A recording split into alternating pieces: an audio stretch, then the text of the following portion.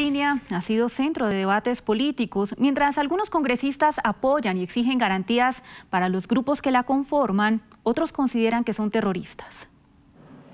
La bancada de la oposición insiste en que los jóvenes de la denominada primera línea no son enemigos del país y por el contrario deben ser apoyados y escuchados por el gobierno nacional. Que no les demos gusto de, de, seguir haciendo esa campaña terrible de estigmatizar a nuestros jóvenes como terroristas mientras le lavan la imagen a los verdaderos terroristas de este país. Iván Cepeda, no es solo la proscripción de la primera línea.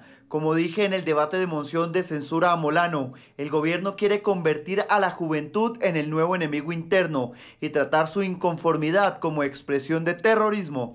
Es parte de la ideología totalitaria del uribismo. Congresistas de otras vertientes políticas tienen otra mirada a ese nuevo fenómeno.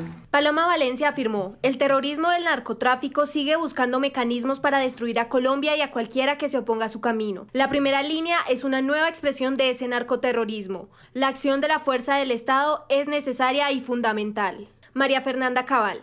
Decidieron crear zozobra y terror, decidieron estigmatizar la fuerza pública y llamarla genocida, decidieron criminalizar el uso legítimo de la fuerza y dejar civiles indefensos ante las balas de la primera línea.